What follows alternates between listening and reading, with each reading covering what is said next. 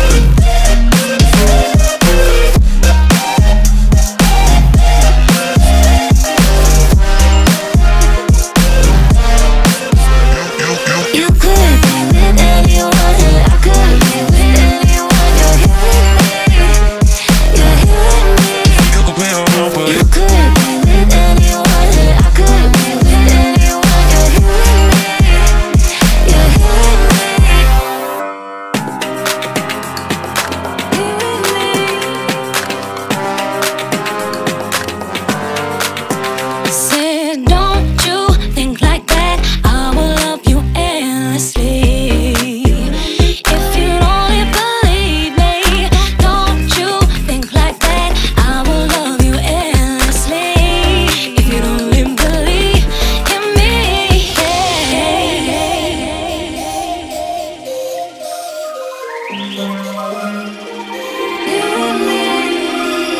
could be with